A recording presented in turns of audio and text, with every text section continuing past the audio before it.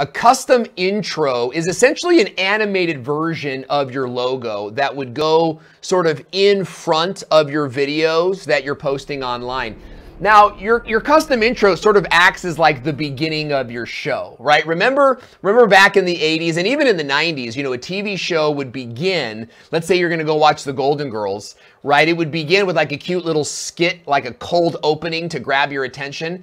But then the intro would come on, right? Thank you Right? Everybody sort of remembers that from back in the day. That beginning of the show is is the same as your custom intro. So when you're creating video online, you want to you want to create a hook that brings in your viewers' attention and then you want to show them a custom intro that's like 3 to 5 seconds, an animated version of your logo or something simple so that the viewer knows who your brand is and can connect with you. Every business owner needs a custom intro. And, and here's why, it's because you're not a celebrity, unfortunately, right? When you're doing online video marketing, you're not in a place where you're trying to become famous to anyone but your customers. Now, your customers need to know who you are. And so when you make a video and you don't show your, your intro, when you don't show them your brand and that brand doesn't look sharp, well, you're automatically in a losing point with the customer. So imagine with me, if you will, that you're like a, a premier flooring provider in your local town and you sell flooring, laminates, hardwoods, and all this kind of stuff.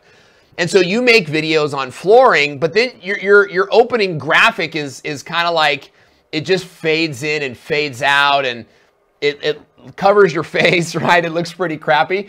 You know, that's no way to represent your brand. So it's it's not only important to have a custom intro, it's important that you take time with your custom intro and you make it look nice so that it reflects properly the type of quality that your brand represents.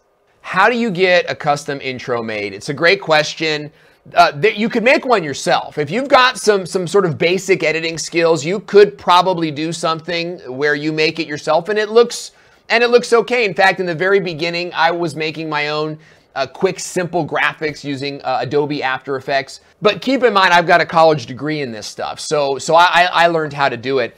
You could also go to Fiverr or Upwork or some of these freelance uh, sites, and, and you can get them, you can get a freelancer there to make you one at a very, very low price. Now, the thing you have to watch out for here is that most of these editors are sort of using templates that they got from a website somewhere. They downloaded some templates and and so every time they get a customer, they use the same template for every single customer.